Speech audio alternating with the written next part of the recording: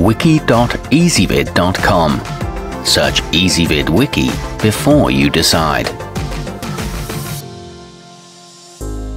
Ezvid presents the 8 best turbidity meters. Let's get started with the list. Starting off our list at number 8. Due to few materials, the Lamotte 7519 is best for those looking to just perform a limited number of tests.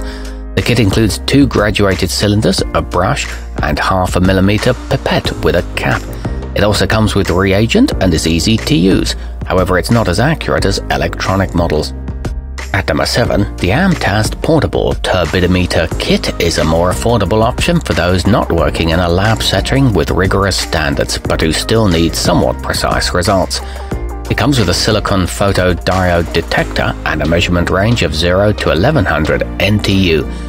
It can store up to 100 datasets and its USB can be used for backup power, but it's not intuitive to use. Coming in at number 6 on our list, the Baoshishan turbidity meter is for those working in a professional environment who need highly accurate measurements. It can measure up to 2000 NTU, features a 7-point calibration system, and utilizes a USB output for transferring your datasets. This one's ISO 7207 compliant and can be powered by mains or batteries. More precise versions are also available.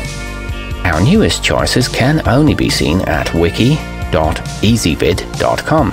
Go there now and search for turbidity meters, or simply click beneath this video. At number 5, the Sper Scientific is a compact design that makes working in the field easy.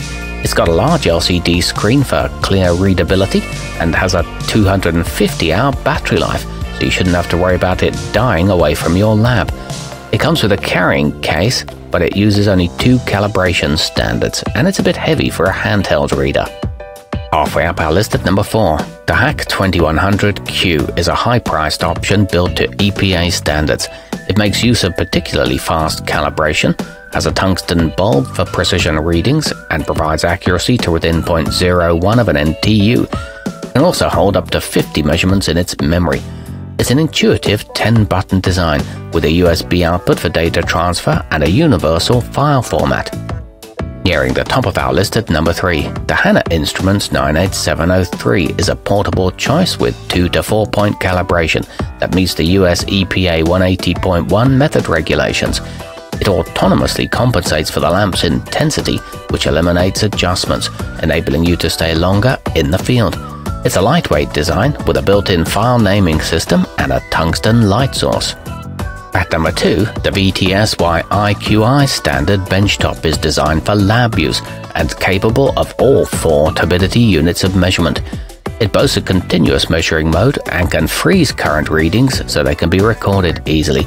This one's password protected and detects total suspended solids. It's equipped with a large color display and taking the top spot on our list. Although the Apera Instruments TN400 is accurate enough to be used as a primary tool in a controlled environment, it also performs well when taken into the field. It's got a full color display that reflects live readings and makes it easy to track data. It offers a range from 0 to 1000 NTU and includes four polymer vials. It runs on AA batteries. Our newest choices can only be seen at wiki.ezvid.com. Go there now and search for turbidity meters, or simply click beneath this video.